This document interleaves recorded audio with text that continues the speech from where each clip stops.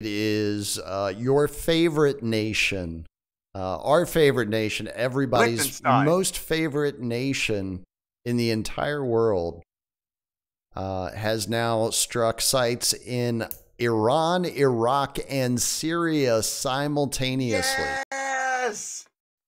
Let's go, turbo racist genocidal maniacs.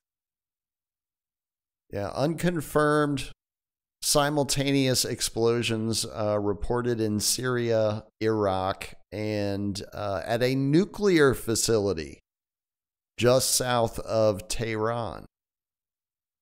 And apparently, the markets are already reacting to it. Shout out to Rob in the Odysee chat for Oh, so uh, cluing like- us into that one. But yeah, apparently, this, This is, is now the happening right now. retaliation.